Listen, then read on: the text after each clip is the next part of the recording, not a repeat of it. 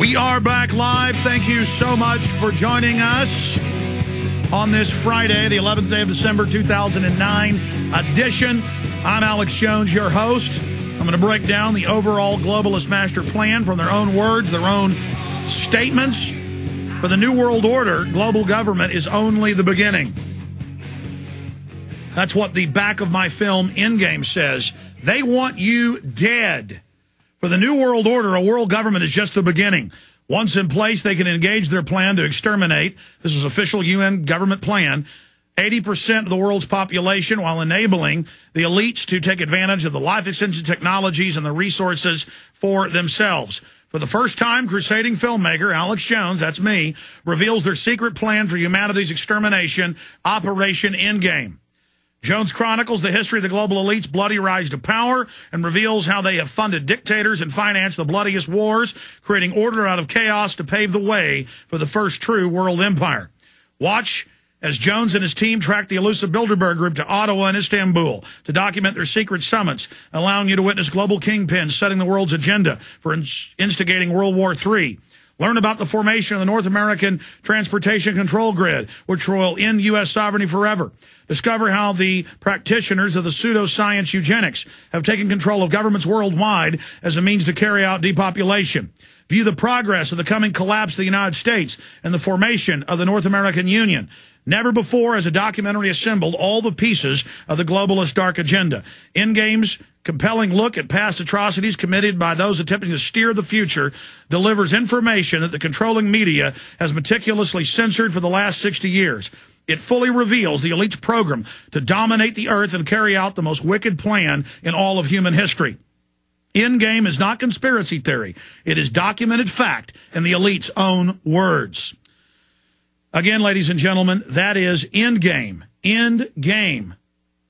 Blueprint for Global Enslavement out for three years. Here is my latest film, Fall of the Republic. Let me read the back of this before I get into all this information.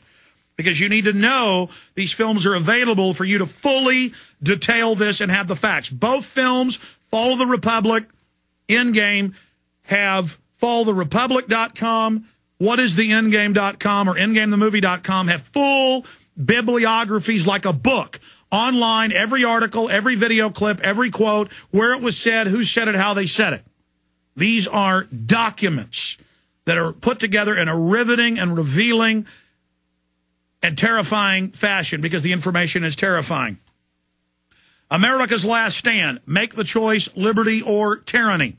Fall the Republic documents how an offshore corporate cartel is bankrupting the U.S. economy by design. Leaders are now declaring that one world government has arrived and that the dollar will be replaced with a new global currency. President Obama has brazenly violated Article 1, Section 9 of the U.S. Constitution by seating himself at the head of the United Nations Security Council, thus becoming the first U.S. president to chair the world body.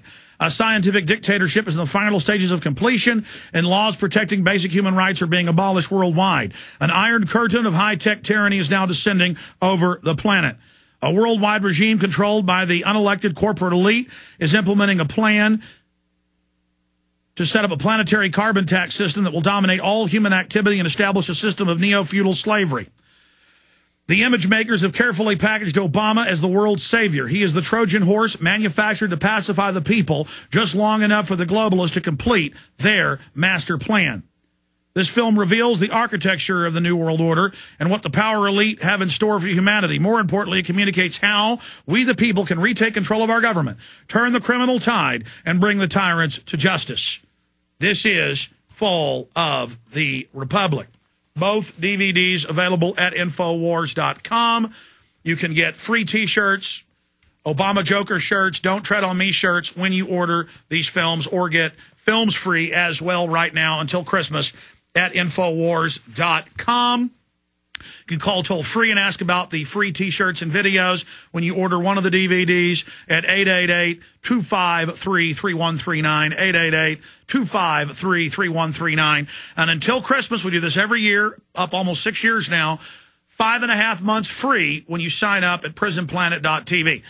It's five ninety five a month when you buy it month to month. When you get a year, it comes down to like right at $3.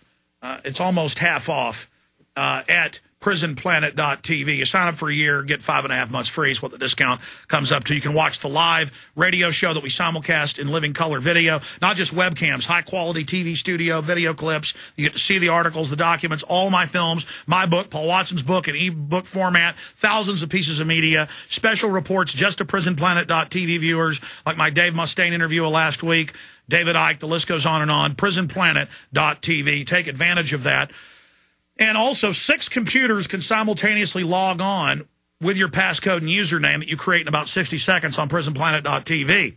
So you can also give yourself a prisonplanet.tv membership and give the username and passcode as an e-card to several of your friends and family. Just tell them they can't share it, or then if six computers are on simultaneously, it will uh, lock you down until somebody logs off. I wish I could give it to everybody free. It's just we have to fund our operation. But never fear. Though it hurts us financially, that isn't what matters. All my films are free on YouTube and Google. Google Endgame, search the term Fall of the Republic. You can watch them in decent quality online. It's not pearls before swine. I know you care about that. You will use it. You will show it to others. You will give it to your email list. You will spread the word. All that matters to me here is getting this information out, and the people are now ready to hear the truth. So that's my Christmas present of liberty and the truth to everybody. All the films are free online. Just you get them in better quality and support us when you're a prisonplanet.tv member or buy the DVD. And I want to thank everybody for their support. We couldn't do what we're doing here without you. So thank you so much. And to the crew that also makes it all possible. Okay. Let me just in layman's terms give you a basic overview. Then I want to go through mainstream news in your face, backing all of this up. About 150 years ago in England, the royal family publicly funded Galton, Darwin, the Huxleys, the Wedgwoods, and others, the top scientific inventors, the top scientific brains in England, pioneering eugenics, anthropology, sociology, the list goes on and on. They went to him and they said, people are rebelling against the empire worldwide. How do we set up a scientific dictatorship where the people love their own servitude? We have all these white papers. We cover them in Endgame. This is mainline history. This is on the record. And they came back and they said, we have to create social departments, Planned Parenthood. We have to create health departments that will carry out racial hygiene and we will start taking poor people's children. We will start sterilizing them. We can start drugging the water supply to make people passive and to go along with our orders. We can put in puppet governments in the third world that we control, take down the British flag, but have covert operations that work through puppet governments and through roundtable groups. So they set up the royal commissions who then set up the Royal Institute on International Affairs, who set up the Council on Foreign Relations in the United States, and other management groups that actually control the industry, banking, media, academia. And most of the people in those groups aren't aware of the full scope uh, of the operational uh, system. So you have higher level groups that control that. And they called for, through banking, and through fiat currency, going in and buying off third world and first world nations leaders, and to get those countries in debt as long as they paid off the leadership. If the countries wouldn't go along with it, they would finance revolutions within or finance their neighbors to attack them. This is all declassified. The Milner papers from Lord Milner in 1914, the list goes on and on. They said, we will institute World War I and World War II. This is over 100 years ago as a pretext to make the public say we don't want any more war. We want a global private corporate government through the League of Nations and the United Nations to end all war.